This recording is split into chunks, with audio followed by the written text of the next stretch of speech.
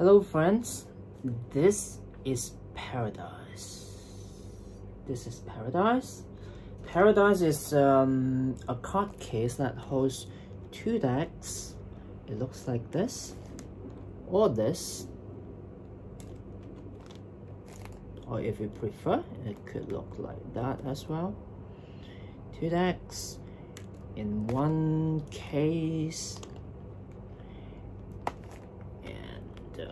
it's free. You can make it by printing this out, follow the instruction to resize it so that uh, it, uh, margins will not be added and it will not shrink.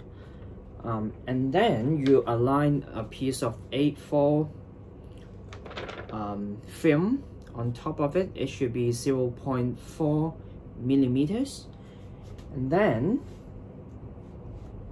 you trace the outline with a pen cutter all right and uh, and then you cut it out and you realize I didn't stitch it.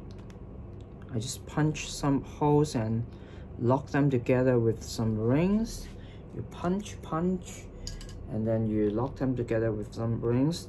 Make a button you just need to align everything really right otherwise it is going to um, deform a little bit which makes it even better maybe.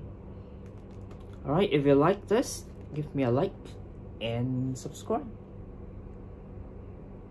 Ta-da